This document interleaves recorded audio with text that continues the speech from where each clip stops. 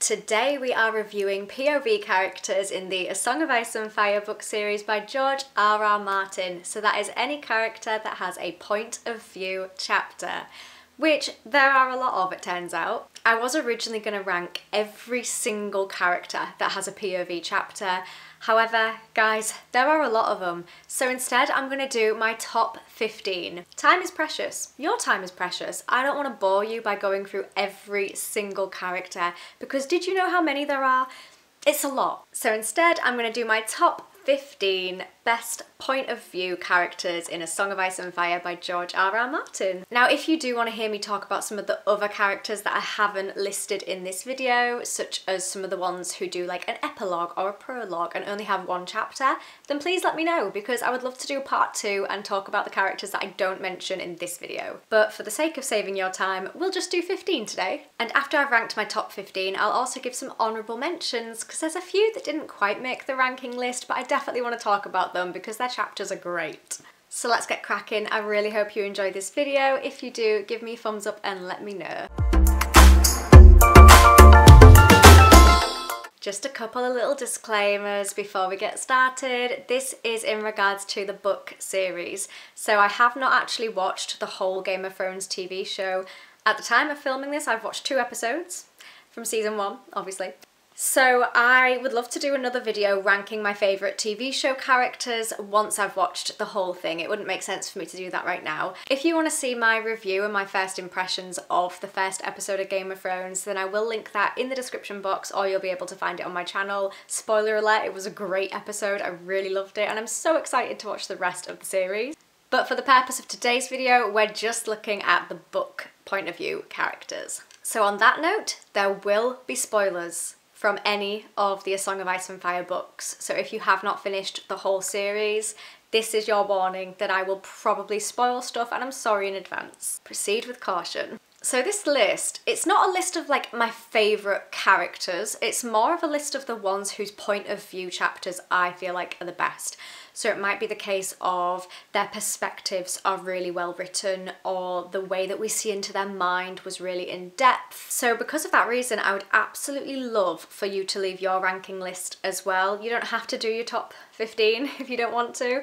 Alternatively, if you want to, then please feel free. Leave me in the comments a couple of your favourite point of view characters and we can see if we've got some similar or different opinions. That'd be cool too. So without further ado, let's get started. I have a feeling this list is probably going to change once I reread the books. So in at number 15, to kickstart our list of favourite POV characters, we have the one, the only Barristan Selmy. He has about six chapters, I think. Please let me know if I'm wrong, but off the top of my head, I think he has six chapters in the whole series. Generally, I think he's a really honourable guy, and reading from his perspective, you get that that honourability, that loyalty from him, and I like that. Now, there are a small faction of the community who don't think that he is all that honourable. So, for example, he was loyal to King Aerys Targaryen, and then when Robert Baratheon kind of, you know, usurped him, Barristan Selmy then decided to be loyal to Robert. So why are you being loyal to the king who usurped your king? You get me? Like, something just doesn't add up in this puzzle piece of Barristan Selmy's loyalty, you know? But overall, I do think he is a very loyal member of the Kingsguard and he does seem like a very honourable character, especially when he is pledging his loyalty to Daenerys. That is the particular part of the book and his chapters that I like the most and that is why he's in at number 15 and why he's made the list. He seems like a great guy, I think. Yeah, I'm confident in that statement. In at number 14, we have Bran. 14 does feel a little bit low on the list, I suppose, for Bran. Like, maybe this is quite a controversial opinion. He has a lot of chapters in this series.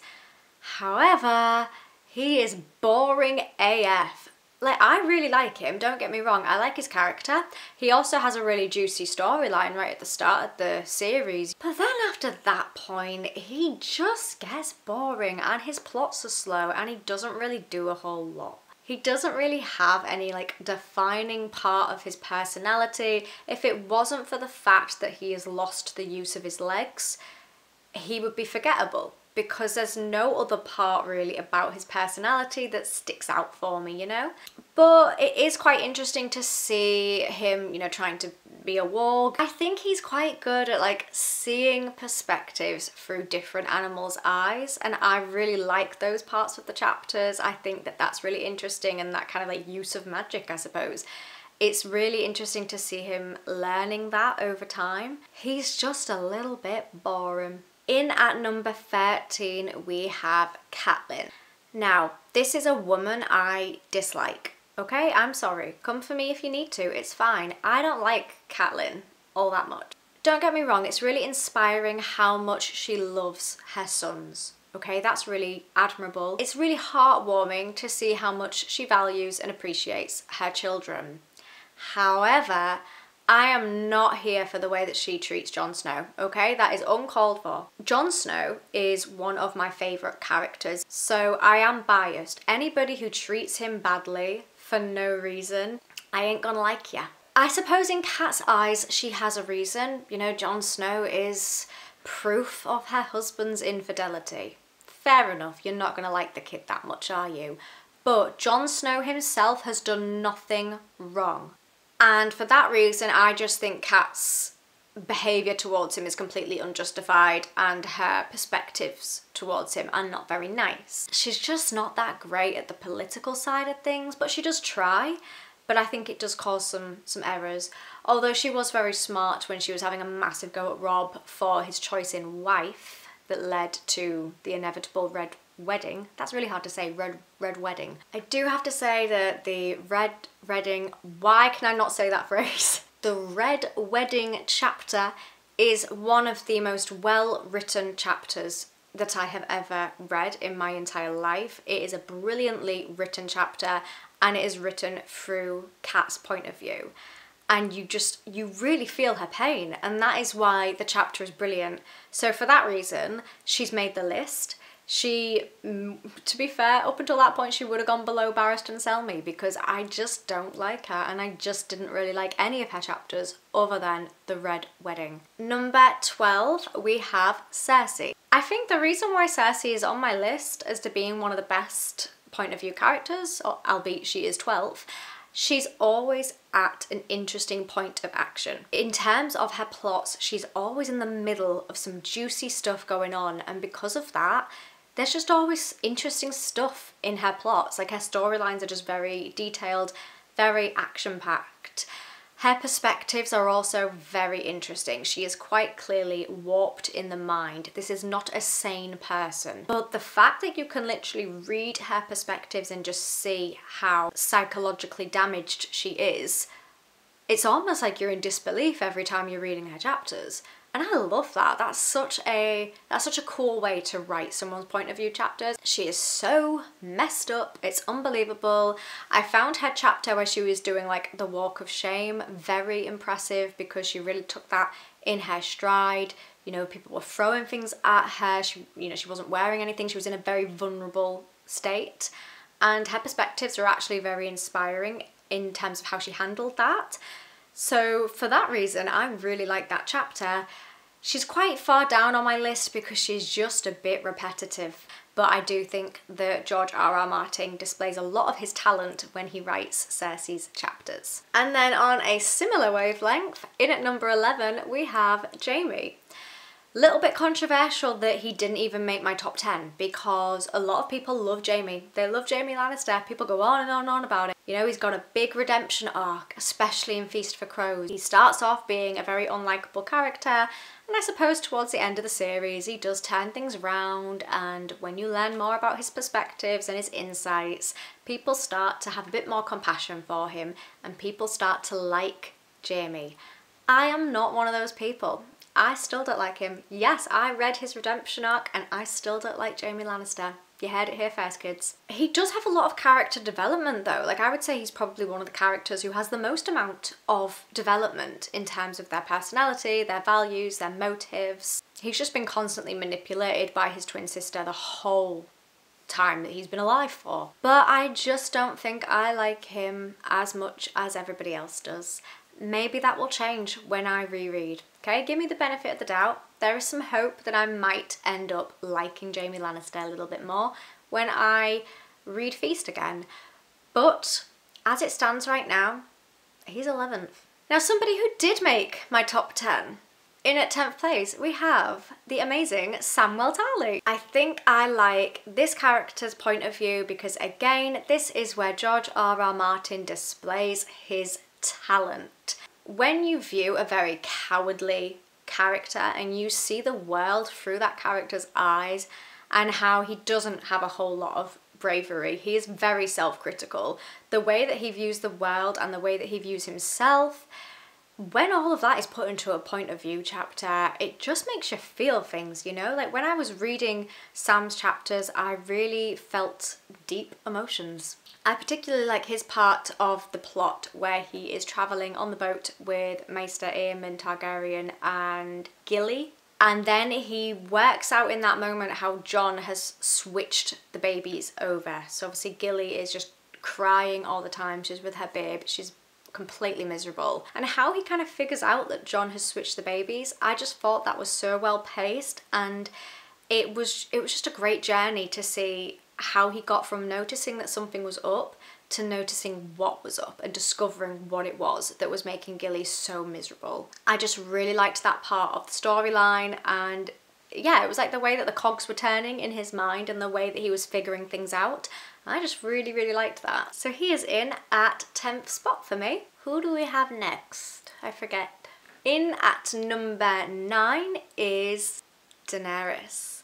Now this is a character that I just think is incredibly badass. Like I really like Daenerys, a lot of people do.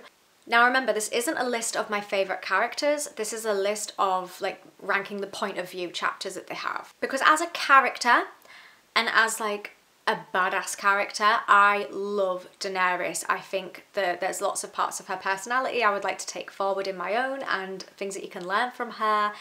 But she is at number ninth spot for me because her storyline gets so dull and so boring frequently throughout A Song of Ice and Fire and she just feels so far removed from everything else that is happening over in Westeros. Sometimes you read Daenerys chapter and it feels like nothing happened and you sit there afterwards and you just think what was the point in that? I just feel like her problem is that nothing really happens, or like a lot of stuff happens, but it's so spread out across the course of the book series that it's very slow. Like her, her plots progress very, very slowly, whereas in comparison to some of the other characters, theirs are very jam-packed. And I particularly liked her storylines in Dance with Dragons. That was probably my favourite, um, and the original first book, Game of Thrones, her storyline in that book again is amazing, so interesting. I just feel like the book's in the middle of the series. She was just dull AF. In at 8th, we have another amazing, admirable woman in Game of Thrones. Well, A Song of Ice and Fire.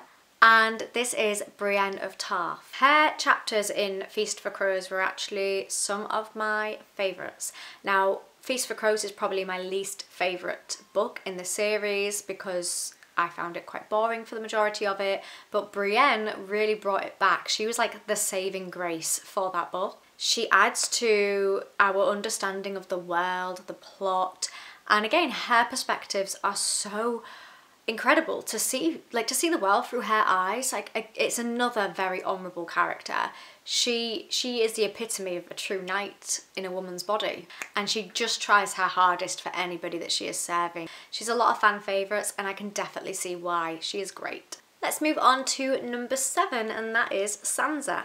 So far, I like Sansa a lot more in the books than I do in the TV show.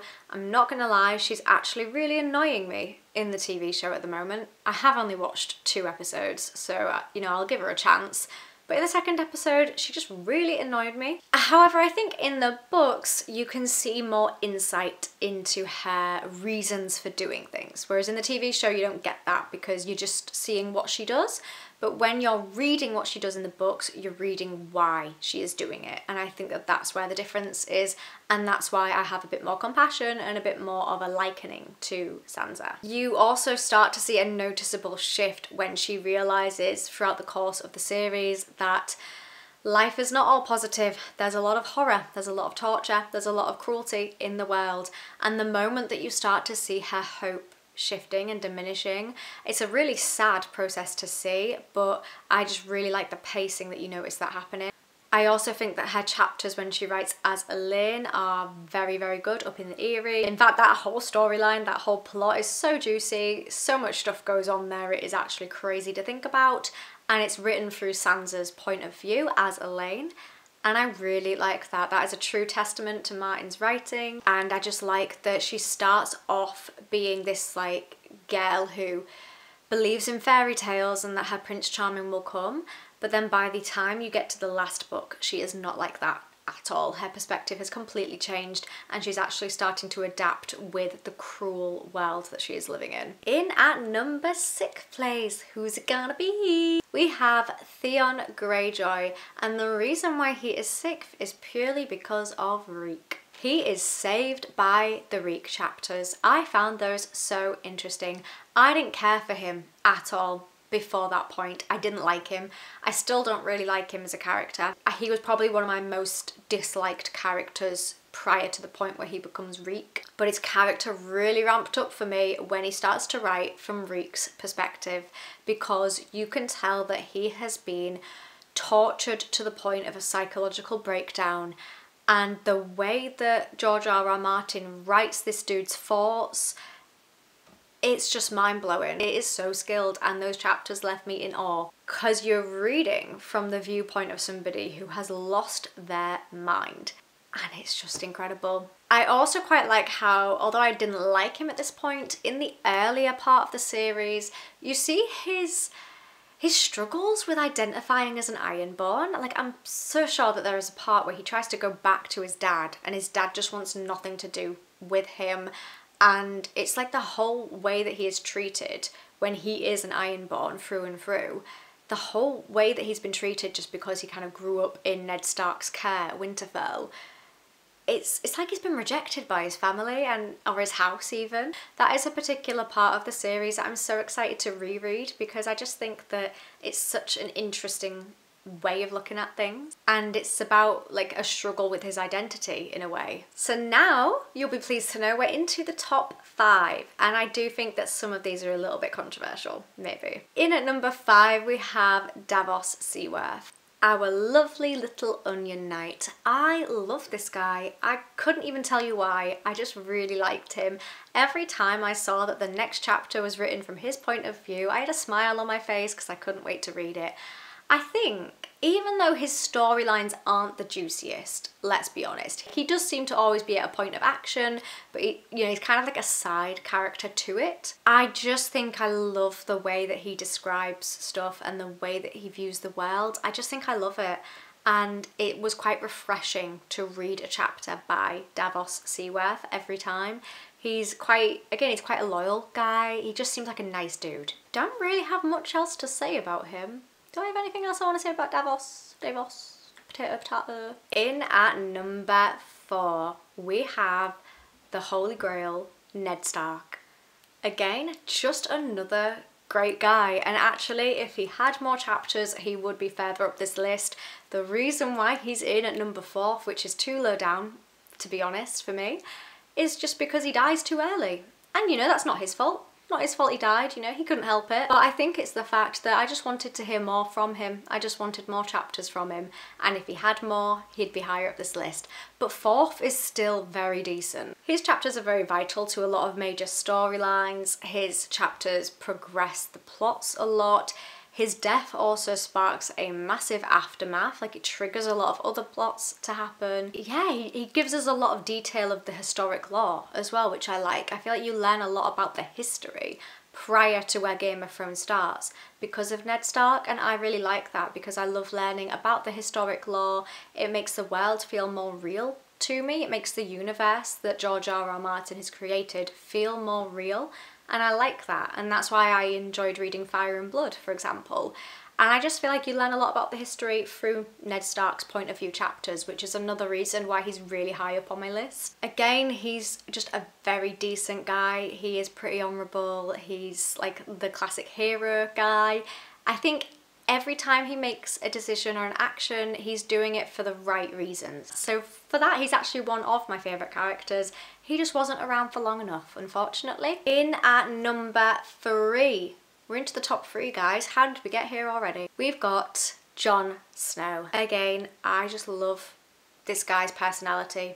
You can't fault it really. His plots are not the juiciest, they're not the most action packed, but his perspectives and the way he views the world make up for it massively. I mean, it is possibly controversial to have him so high up, but it's not controversial to me because it's my opinion, so I agree with it. I love the way that he thinks and feels. I love the way that he thinks about other people, about things that are happening to him, about about the way that he thinks about himself as well. I feel like he again is always trying to do the right thing, just like his father, but like barriers keep getting thrown in his way, things outside of his control that he can't help are thrown at him constantly. So he's always he's always trying to do the right thing, but external factors are just not allowing it. And he he has quite a difficult life. So he takes it in his stride and I feel like he tries to manage it in the best way that he can and I just like his perspectives a lot and again he's quite um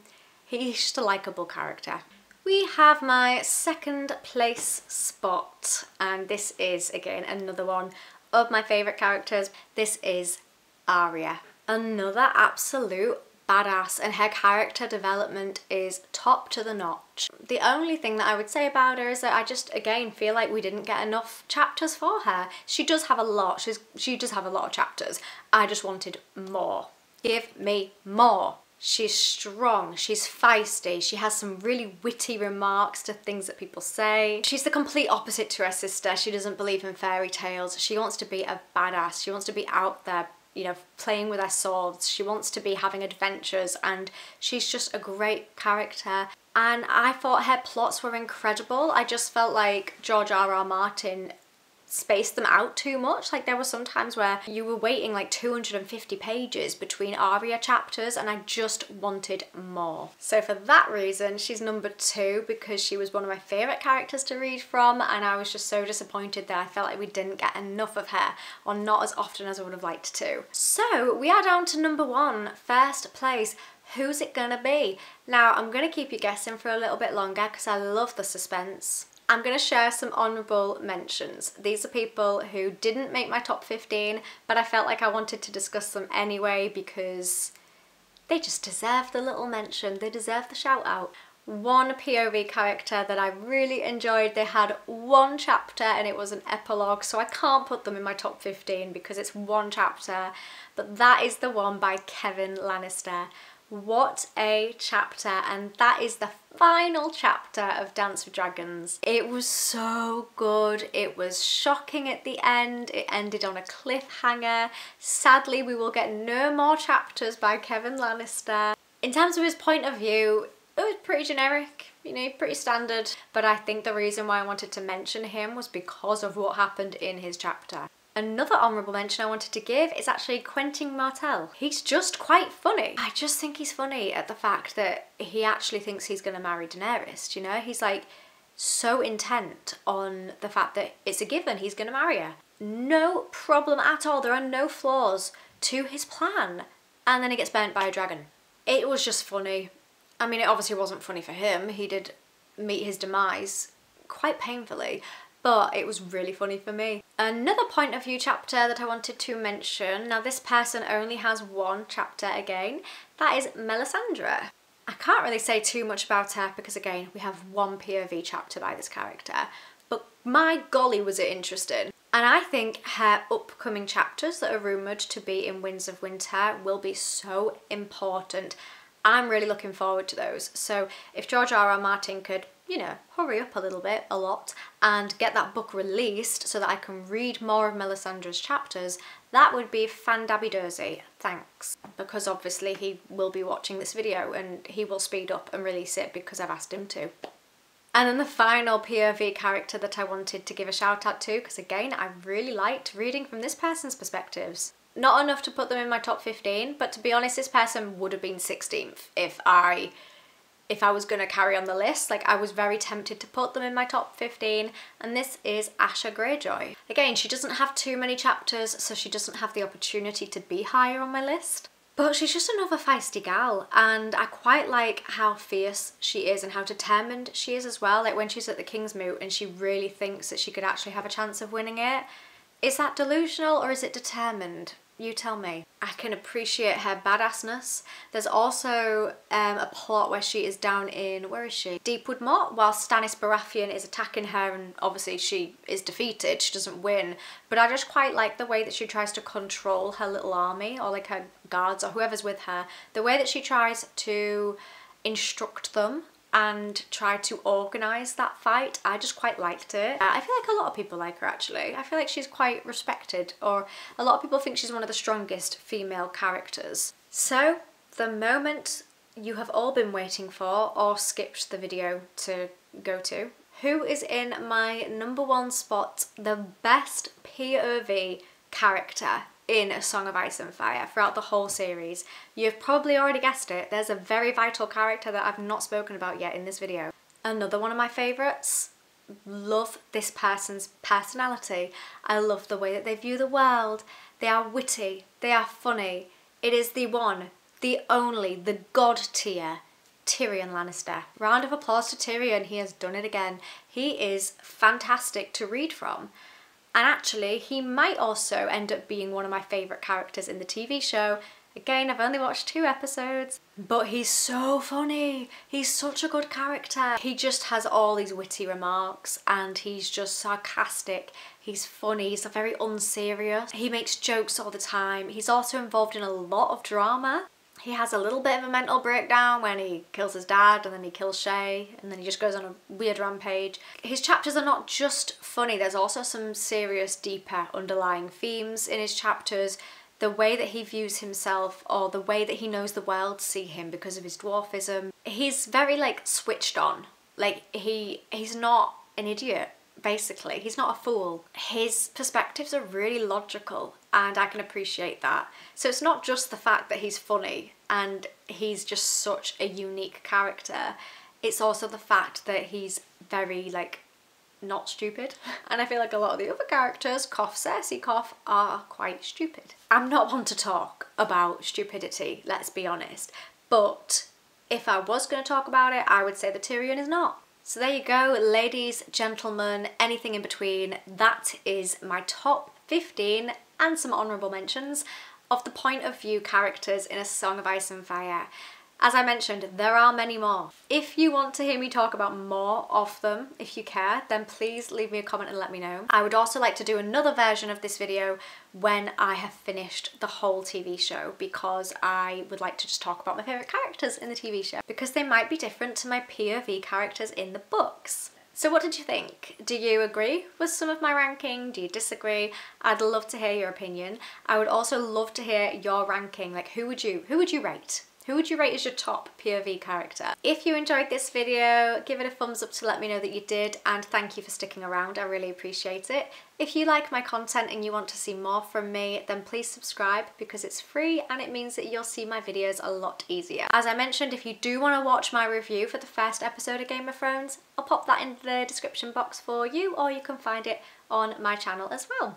I will see you next time, or rather you'll see me, and I hope that you have a wonderful rest of your day. Bye for now.